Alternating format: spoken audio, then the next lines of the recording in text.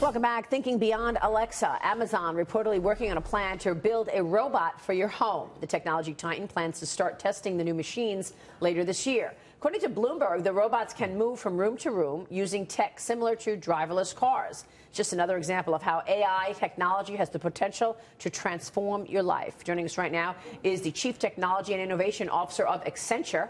Paul Daugherty. Good to see you, Paul. Thank you so much for joining us. Thanks for having and me. And you wrote a whole book about this, Human uh, Machine, Reimagining Work in the Age of AI. How has it reimagined work?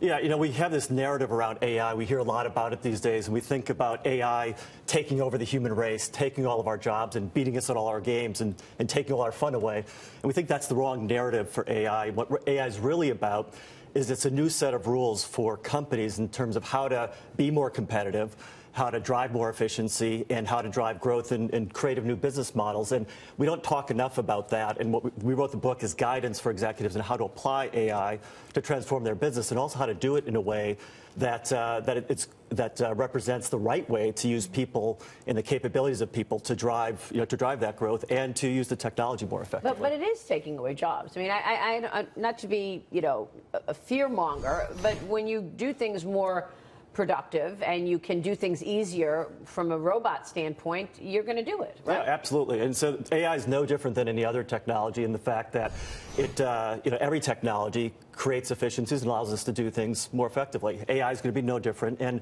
there's a report recently from the OECD that talked about on the order of 14% of jobs being you know, threatened by AI. We think that's about right. 14%? About 14%. Mm. Another third of jobs beyond that uh, being transformed significantly by AI. And that's probably about right also. So the issue is not that we won't have enough jobs, because we talk in the book about many, many new types of jobs being created by companies. The issue is how do we prepare people with the right skills for these jobs, because some will be displaced more quickly.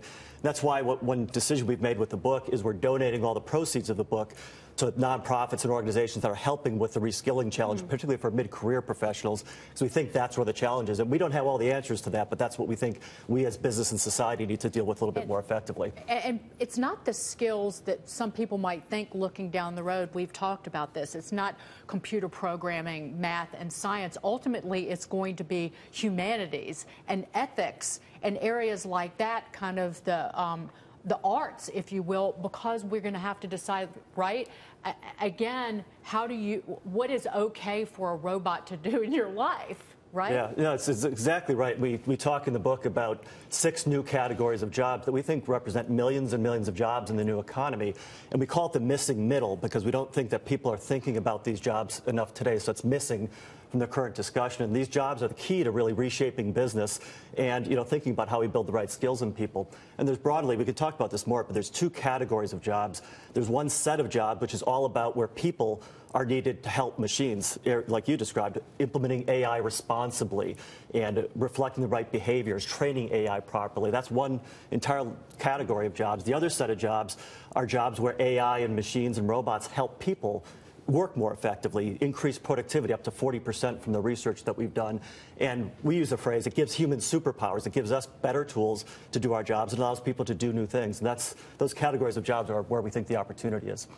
Elon Musk said recently with the production snafus on the, the Model 3 that he, he underestimated the value of the human. Yeah. That they, he overestimated mm. the ability to um, basically use robots in the manufacturing. That's a great process. example. He, uh, Elon said that humans are underrated right. was, was his quote.